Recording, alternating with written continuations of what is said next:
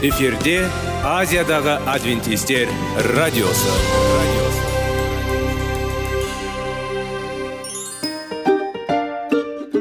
Сәлем достар. Денсаулық өмір бұлағы және біздің бірінші байлығымыз демекші денсаулық сағаты рубрикасына қош келдіңіздер. Біздің рубрикада біз әртүрлі факторларменен мәліметтерменен кеңестерменен бөлісіп шын жүректен сіздердің дендеріңіз сау болғанын қалаймыз. Сол үшін біздің рубрикаға қош келдіңіздер. Дайындалып тұрыңыздар. Өйткені келесі минуттарда қызықты фактілерге ие боласыздар. Енді достар ең бірінші байлығымызды қолымызға алып алға кеттік.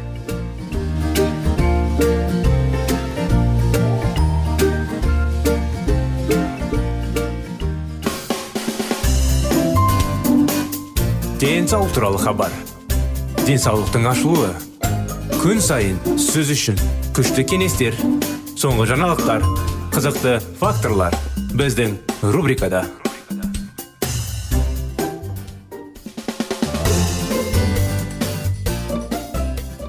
Достар құрметті біздің тыңдаушыларымыз сіздермен бірге денсаулық сағат бағдарламасы қытай зерттеулер тақырыбымызбен.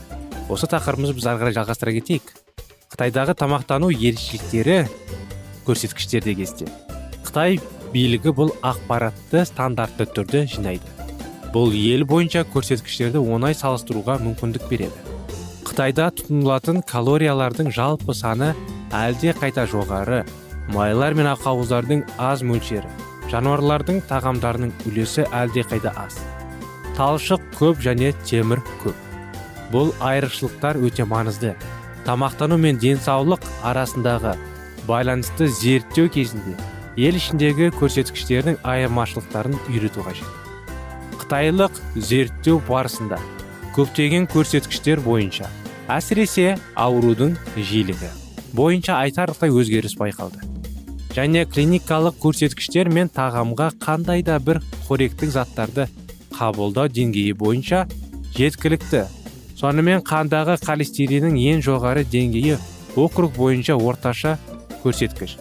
Ең төменгі деңгейдің екі есе қандағы бета каротиннің мөлшері бойынша ең жоғары деңгей ең төменгі деңгейден 9 есе. Қандағы липидтердің деңгейі бойынша шамамен үш есе. Миларды тұтыну бойынша шамамен 6 есе. Ал талқыштау тұтыну бойынша шамамен 5 есе асып түсті. Бұл өте маңызды болды. Өйткені біздің бірінші кезекте қытай округтерін бір бірімен салыстыру қызықтырады. Біздің зерттеуіміз тамақтанудың осы ерекшеліктерін және олардың денсаулыққа тигізетін әсерін зерттеуге арналған алғашқы ірі ғылыми жоба болды. Шын мәнінде біз қытайда өсімдік тағамына бай тағамдарды өсімдік тағамдарына өте бай тағамдармен салыстырдық. Барлық дерлік зерттеулерде олардың барлығы батыста өткізілген. Ғылымдар жануарлардың тамағына бай тағамды өте бай жаруалардың тамағымен салыстырды. Қытайдың ауылдық жерлеріндегі тамақтану мен батыс елдеріндегі тамақтану мен осы аурудың көрінісі арасындағы айырмашылық те өте зор. Дәл осы айырмашылық басқалар сияқты зерттеуге осындай мән берді. Бақта қытайлық зерттеу маңызды деп аталды. Жарияланған мақалда бұл жоба ғылымдардың таң қалдыруы керек делінген. Медицина және тамақтану мәселелерін зерттеулермен айналыстырылып үкіл әлем. Ықпалды медициналық топтар мұндай зерттеуді жүргізу мүмкін емес деп мәлімдеді. Алайда бұл менің тамақтану мен денсаулыққа қатысты көптеген даулы ойларының білуге мүмкіндік беретінін білдім.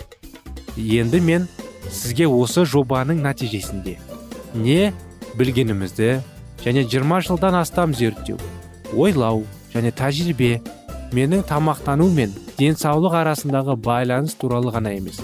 Сонымен бірге мен және менің отбасым қалай тамақтанатын туралы көз қарастарымды қалай өзгертетінін айқын көрді.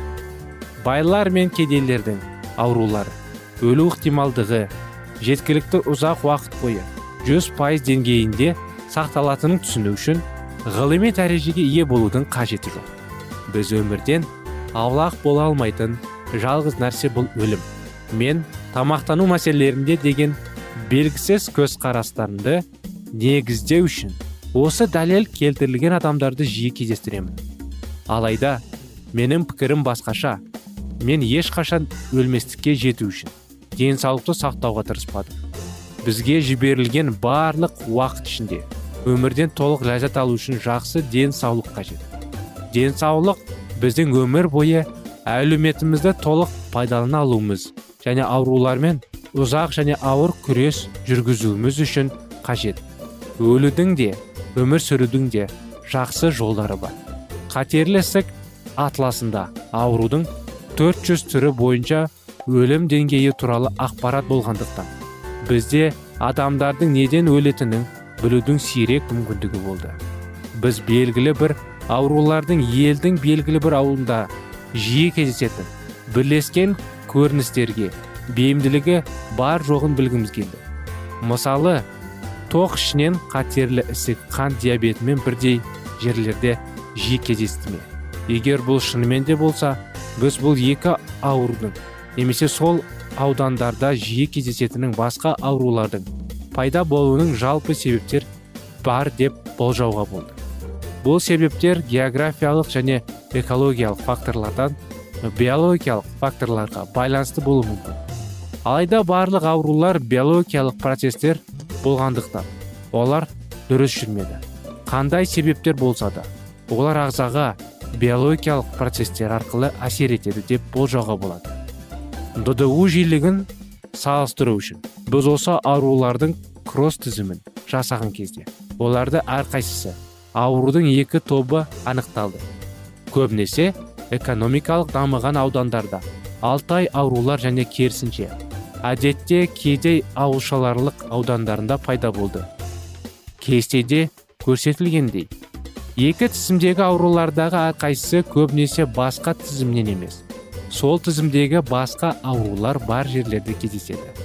Мысалы егер қытайдың ауылдық аймақтарының бірінде пневмониямен ауыралардың жоғары билігі байқалса онда сүт безенің қатерлісігі сирек кездеседі. Бірақ көбінесе паразиттік ауру. Батыс елдерінің тұрғындарының көп бөлігі қайтыс болатын ауру жүректің ишемиялық ауру сүт безі қатерлі ісігін сияқты жерлерде жиі кездеседі. Айтпақшы ишемиялық жүрек ауруы дамушы елдерде сирек кездеседі. Бұл ондағы адамдардың жас кезінде өлетіндікпен байланысты емес. Осылайша батысты қарт адамдар ауыратын аурулардың аулақ болады. Бұл салыстырулы жасына қарай сандартылған яғни кейбір жас топтарындағы адамдар арасында жүргізілген. Осындай анықтама құрметті достар бүгінгі күнде сіздердің назарларыңызға. Жалғасы келесі бағдарламамызда жалғасады. Сол уақытқа дейін сау болыңыздар дейміз.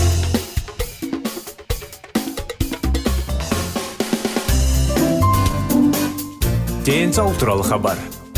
Денсаулықтың ашылуы күн сайын сөз үшін күшті кеңестер соңғы жаңалықтар қызықты факторлар біздің рубрикада.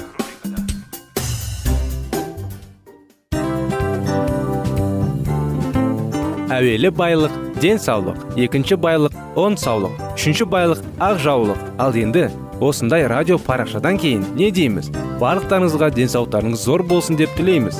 Денсаулықтың өзгеруі кішкентай нәрселерден басталады. Осымен біз берген кеңестер мен мәліметтер шын жүректен сіздер үшін қандай да бір болсын жәрдем берді деп үміттенеміз. Тыңдаушыларымызбен келесі радио парақшасына дейін қоштассамыз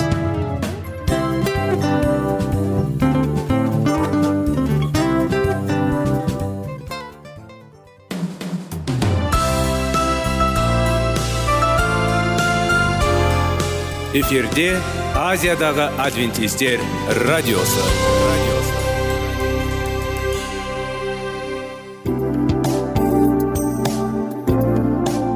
Сәлем достар. Барлықтарыңызға шын жүректен сөйлесейік рубрикасына қош келдіңіздер деп айтпақшымыз. Шын жүректен сөйлесейік бағдарламасы әртүрлі қызықты тақырыптарға арналған. Шындығында шын жүректен сөйлесейік деген сөздің мағынасы екі достың екі адамның ортасындағы шын жүрекпен сөйлесуі бір біріне сенуі ашықтық пен шындықты білдіреді. Сол үшін біздің бағдарламалар әртүрлі қызықты тақырыптарға арналған. Дайындалыңыз жаңа қызықты мәліметтерге ие болға ондай болса кеттік.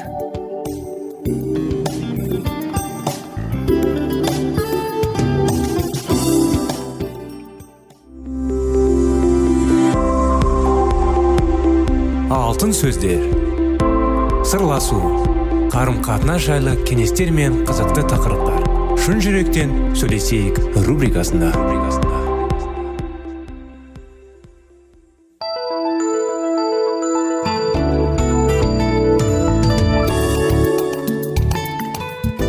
Сәлем достар. Ассалаумағалейкум құрметті радио тыңдаушыларымыз. Сіздермен бірге шын жүректен сөйлесейік бағдарламасы. Сіздердің назарларыңызға 25 керемет неке оқиғаларын жалғастырудамыз. Сізге құдайдың сүйіспеншілігі мен мейірімін қабылдауға дайын тұратын жана жүрек керек пе еді? Егер оған қажетті болатын көмекті дайындап қоймаса сіздің көктегі әкеңіз сіз үшін некені жоспарламас еді. Одан дәл қазір неке көмек сұрамаймыз. Сіз төмендегідей мінәжат ете сыйына аласыз. Әке саған отбасылық өмірді сыйға тартқаның үшін рахмет айтамын. Сондығымнен де оның жаратылуынан айырылып қалған мені менің немеке некеме деген көзқарасымның қате болуына мәжбүрлейтін барлық нәрселерден азат етші. Сенің сүйіспеншілігіне сезімтал жана жұмсақ жүрек бере көрші. Сенің көріп тұрғаныңдай мен де некемді солай көруім үшін менің рухани көздерімді сын. Ең жамандықты күтпестен алдыға уақытына бәрінің де жақсы болатынын сенуге көмектесе гөр біздің барлық істерімізде сені бірінші орынға қоюға көмектесші. Саған алғыс білдіремін деп осындай сыйыныспен сыйыныңыздар некенің ұлылығы құрметті достар бұл айтқандықтарымды жұрттың бәрі емес құдай бұйырғандар ғана ұға алады. Себебі үйлене алмағандар адамдар бар. Кейбіреулері некеге жарамайтын болып тауға басқаларын кісілер сондай еткен. Ал тағы біреулері құдай патшалығына көбірек қызмет ету үшін некеден бас тартқандар. Бірақ егер сендер некенің ұлылығын арттыра алсаңдар соны істеңдер. Кеңейту дегеніміз бұл ұғайту немесе күшейту. Рас қой. Жаратушы иеміз некені жасап шығарушы сіздің одағыңызды кеңейту үшін пайдаланылатын құрал ретінде пайдаланғысы келеді. Егер сіз оның шеберлік жоспарын жүзеге асыруға рұқсат берсеңіз сіздің неғұрлым исаға ұқсастыра отырып және сіз не істеріңізде барлық жағына еркендуге ықпал жасай отырып сіздің күйеуіңіз немесе әйеліңіз арқылы әрекет ететіңіз болады. Некелесіп тұрған адамдардың ұқсамаушылықтары бір бірін өзіне қарай тартады дейді. Осы сөздің күші бар.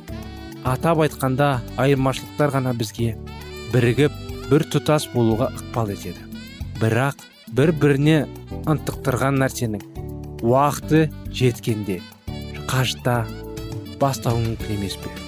Бұрын сіздің күйеуіңізге әйеліңізге ынтантырып тұратын үш қасиетін атап шығыңыз. Ал қазір өзіңіздің қағажтынан үш кемшіліктерді атап шығыңызшы. Құдайдың рухы сізге және әйеліңізге күйеуіңізге даналыққа толы сөздерді айтады. Тек сізді бірге мінәжат еткенде ғана оның кенесі ғана берілмейді жиі жағдайда ол ерлі зайыптылардың екеуі де білуге тиісті нәрсені жұбайлардың біреуіне ғана жекелеп айтады. Құдайдың батасы берілген шешімдерді қабылдау үшін сіздің әрқайсыңызға жарияланған ашып берілген сырды әбден беріліп түсінуіміз қажет болады. Сонымен келесі қойылған сұрақтарда дұрыс жауап беріңізші. Өзіңіздің жұбайының даналығы бақыты сындырыла санауып қабылдау үшін менің жүрегім ашық па әлде жабық па? Өмірінің қай салдарына менің жүрегім ашылады? Қай саласында жүрегім жабық? Неге? Сіз қашанда болмасын.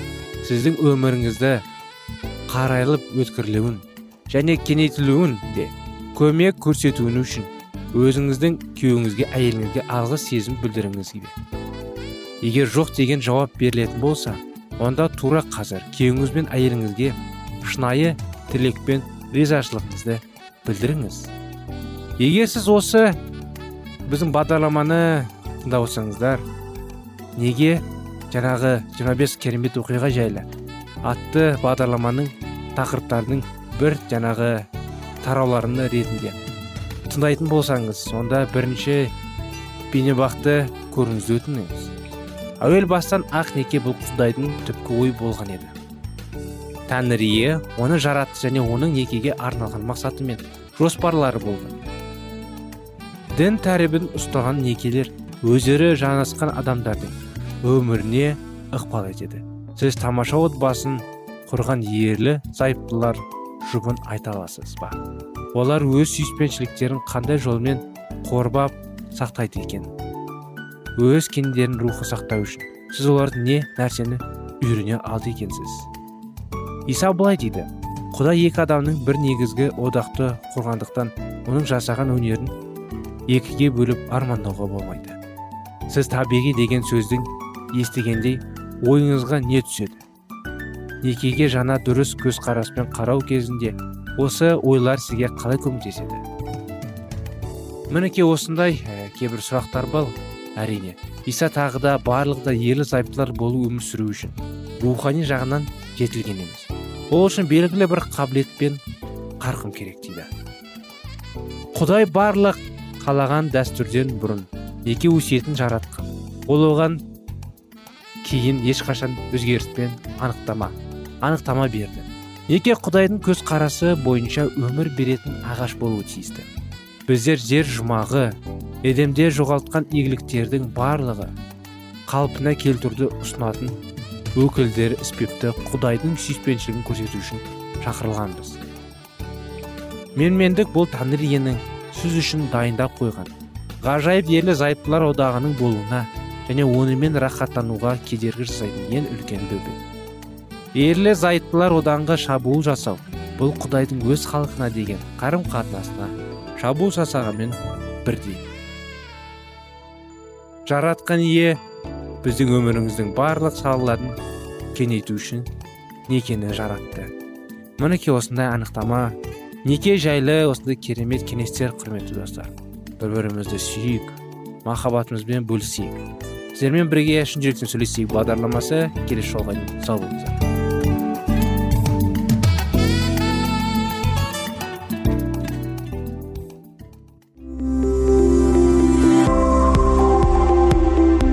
Алтын сөздер сырласу қарым қатынас жайлы кеңестер мен қызықты тақырыптар. Шын жүректен сөйлесейік рубрикасында.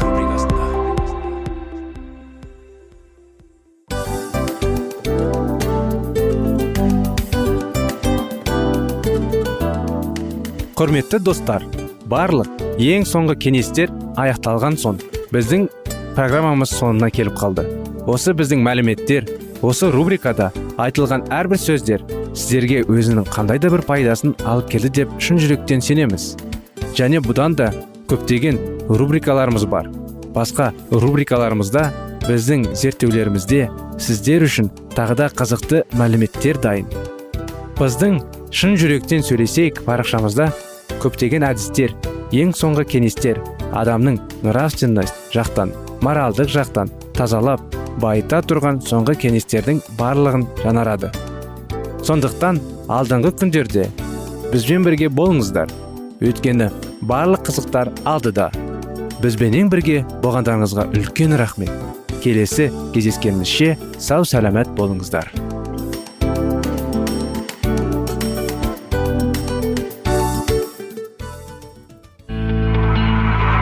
Жан дүниеңді байытқан жүрегіңді жаңғыртқан өмірдің мағынасын ойландырған рухани жаңғыру. Рубрикасы.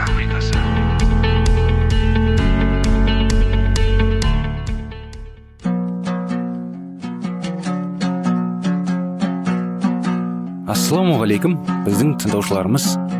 Келі кітаптың шындығын ашып берген қысқа бағдарламасына қош келдіңіздер. Барлығынан жоғары жаратушы біздің қарыңғылықта жалғыз қалдырып қойған емес.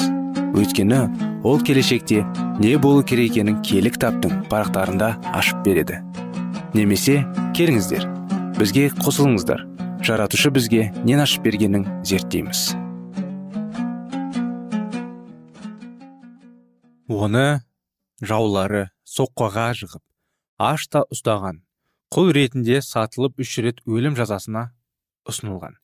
Бірнеше рет қарақшылардың қолына түсіп неше рет өліп неше рет тірілген бірде оның мүлігін берулері ұрлап алып қар жауып тұрған тау ішінде суықтан мұздап қалған аяғын айрен басып ол жүздеген миль жаяу жүріп еткен.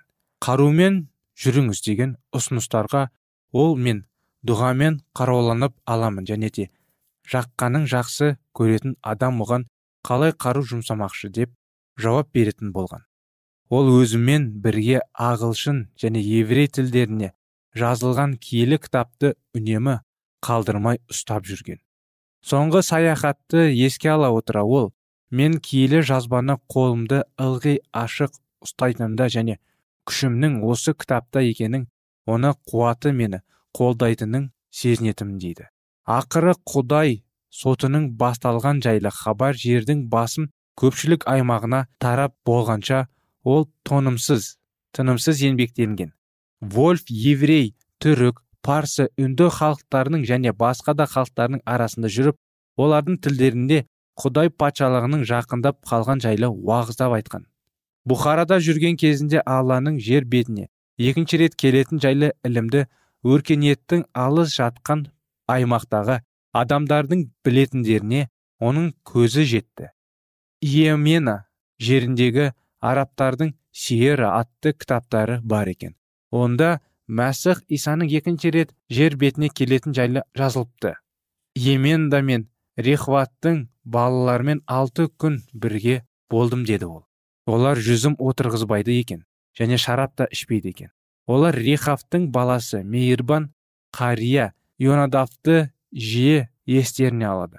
Сол жерде даннан тараған израиль халқының балалары да бар екен. Олар да рехавтың ұрпақтары секілді. Исаның аппақ бұлттың үстінде мыңдаған періштелерін ертіп салтанатты түрде келетінін біледі екен және оны бар ниеттерімен күтуде. Басқа миссионерліктердің айтуынша мұндай ілім татарстанда да бар екен. Татардың бір молласы исаның екінші рет қашан келетінін бірден уағыздаушы елшіден сұраған екен. Және оның бұл жайлы ештеңе білмейтінін көріп мұндай да надан мұғалімдер болады екен ау деп таң қалыпты. Сол молла исаны шамамен 1844 жылы келетініне сенімді болған екен. Англия жерінде исаның келетіні жайлы хабар 1826 жылдан бастап уағыздала басталған. Америкадағы секілді дәл уақытты белгіленгенбіз. Бұл жерде исаның атағы және күшімен салтанатты түрде келетіні жайлы ілім кеңінен тараған. Ағылшын жазушысы мұран броктың айтуынша ағылшын шіркеуінің шамамен жеті жүзден діни қызметкерлері ізгі хабар патшалығын уағыздаумен айналысқан. Сол секілді тәңірдің 1844 жылы келетіні туралы хабар ұлыбританияда да кеңінен тараған. Осы арада ақштан әкелінген кітапталар таратылып кітаптар мен журналдар қайта басылып шыққан. 1842 жылы жеті ағылшын роберт уинтер америкада адвентистер ілімін қабылдап ізгі хабарды отандастарына жеткізу үшін еліне қайтып оралған. Онымен бірге басқа адамдар да сол іске араласып айтулы хабар англияның ірі түрлі бөліктерінде уағыздалды. Оңтүстік америкада шіркеуінің неше түрлі тартырыстарымен жүріп адандыққа шомып қалған какунза атты иезуит тегі испандық киелі жазбаны оқығаннан кейін исаның келетін жайлы хабарды мойындап оны қабыл алған. Бірақ ол жайлы тікелей хабарлап айтуға римнен қорқындығынан өзің бет бұрған яхудей ретінде таныстырып және ойын шығарып түрінде жазып оны рави бен ездра деген атпен баспадан өткізіп жер жерге таратқан. Лакунза 18 ғасырда өмір сүрген. Бірақ оның кітабы 1825 жылы ғана лондонға жеткен және ағылшын тіліне аударылған. Сонымен қоса исаны екінші рет жер бетіне келетіні жайлы хабарлас болған ағылшындардың сол сұрақ манайындағы қызығушылығын тереңдеген түскен. Германияға бұл хабарды 18 ғасырдың сыншысы көрнекті дін зерттеуші лютеран шіркеуінің діни қызметкері бенгель таратқан. Білім алғаннан кейін бенгель теология сабақтарымен айналысқан. Ал оған жас кезінен бастап жетілген байыпты рухани ақылы өз білімін өзі байытуға деген құштарлығын сеп болған. Көптеген басқа да жастар секілді оның рухани өмірінде де күндіктену деген көп болған. Кейіннен сол кездерді еске ала отырып оның жастық шағын ауыр жүкке айналдырып жүгене жебе болып қадалаған күдіктер жайлы ол терең сезіммен айтады. Вюртпенгерес шіркеу соның мүшелігіне енгеннен кейін ол діни бастандыққа қорғауға тұрды. Шіркеудің құқығын қолдай отырып ол сонымен қоса адам өзін арына сәйкес әрекет жасайтынын айтып ешкімді де күштеп шіркеуде ұстауға болмайтынын жайлы ұсыныстар жасады.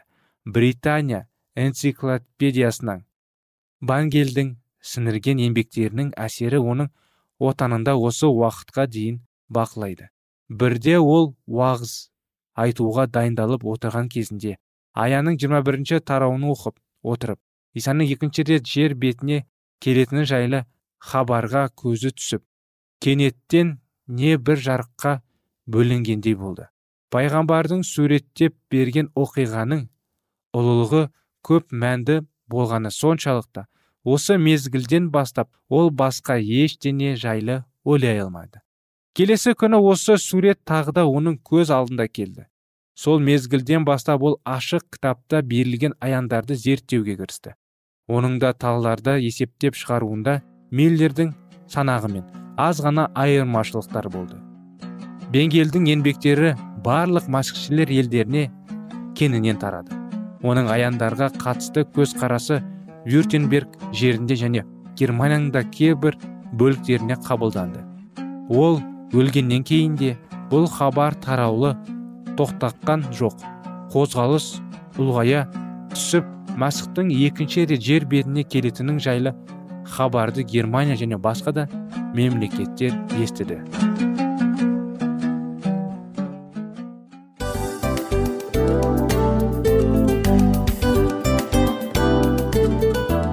Мынау осы уақыт тез өтіп кетеді екен. Біздің бүгінгі рубрикалардың аяғына да келіп жеттік. Ақпаратымызды парақшамызды қазір ғана бастаған сияқты едік. Соңында да келіп қалдық. Уақыт деген тегі білінбей өтіп кетеді екен. Бүгінгі 24 сағаттың алтындай жарты сағатын бізге бөліп арнаған үшін рахмет. Егерде өткен сфераларда пайдалы кеңес алған болсаңыз біз өзіміздің мақсатқа жеткеніміз. Кеңестерді қолданам десеңіз өзгерістерді кішкентай қадамдардан бастап іске асыра беріңіздер де жасағандарыңыз үлкен үлкен жетістіктерге жете берсін. Шын жүректен әрбір берілген кеңестер сөздер сіздерге пайдасын әкеледі деп сенеміз. Сіздермен бірге кездесулерімізді сөзсіз түрде асыға күтеміз. Сәтті күн тілеп сіздер менің ұзаққа қоштаспай келесі кездескенімізше тек қана сау саламатты болыңыздар дейміз. Достар біздің бағдарлама бойынша сұрақтарыңыз болса әрине сіздерге керекті анықтама керек болса біздің whatsapp нөмірімізге хабарлассаңыздар болады. Плюс бір үш жүз бір жеті жүз алпыс алпыс жетпіс. Иә достар сіздер қателеспедіңіздер. Бұл біздің номерлерге ұқсас болмаса да бұл whatsapp номер арнайы. Хабарласыңыздар сұрақтарыңызды қойып тұрыңыздар. Анықтаманы алып тұрыңыздар. Плюс бір үш жүз бір жеті жүз алпыс алпыс жетпіс whatsapp номері.